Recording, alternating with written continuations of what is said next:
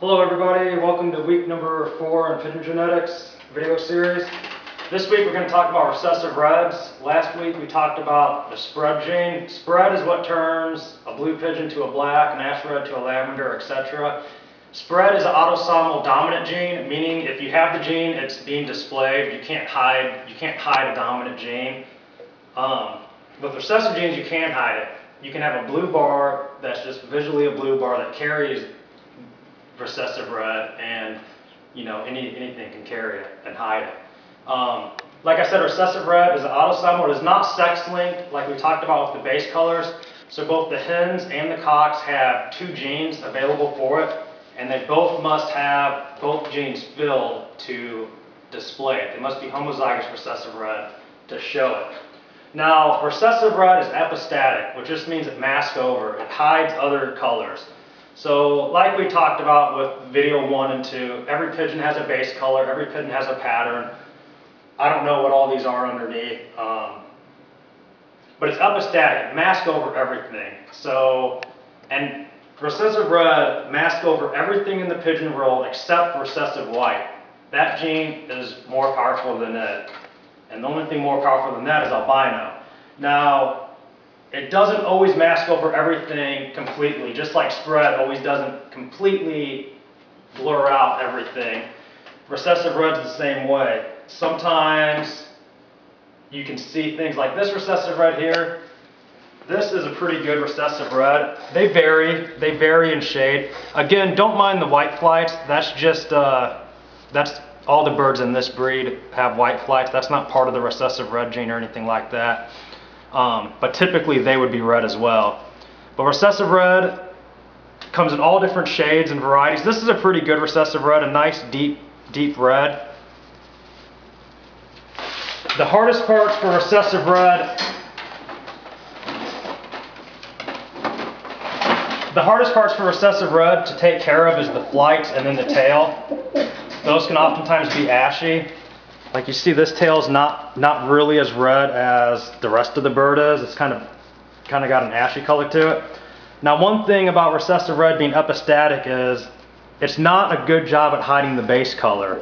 This bird appears to be blue underneath and in the rump area is where you can see it if it does bleed through. And you can see a lot of blue in there.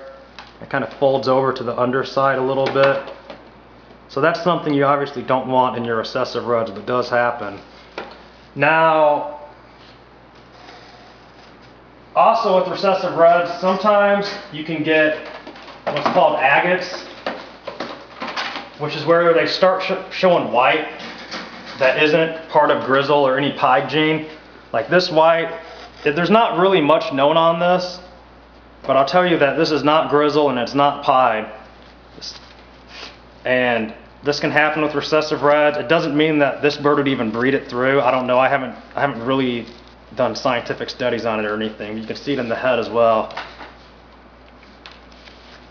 And then the overall redness of this bird isn't even, you know, that good.